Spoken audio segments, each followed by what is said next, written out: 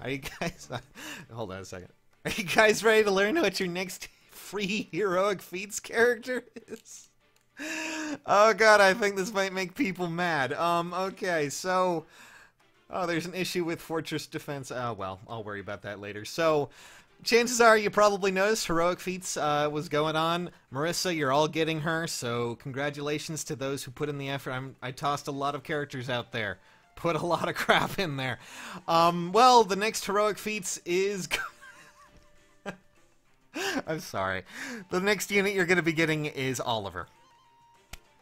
God damn it. And I was so hyped up for all of this. I can't help but feel like they're trolling us a little bit there. But uh, yes, I was really hopeful for that. Was kind of wondering if they were going to be doing anything crazy.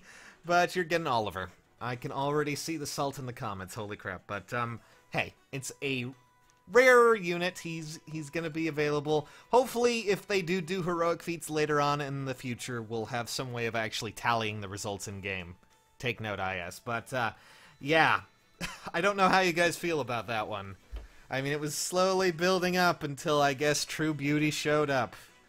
And then we have this banner to go, and then we have all this other stuff. And by the way, uh, apparently Fortress Defense and Res is technically listed as something on par with Deathblow 4 by the looks of it. I mean, it makes sense. It's basically just power creeping the hell out of those, uh, you know, both of those skills. Man, well, that's that's all I can really think of today, guys. Um, how do you feel about that? I'm, I'm kind of slightly miffed a bit, just because, you know, Oliver, really? Ah, God damn it. Okay, well, that's it for now. We'll be back later with more data mined material. So, see you soon.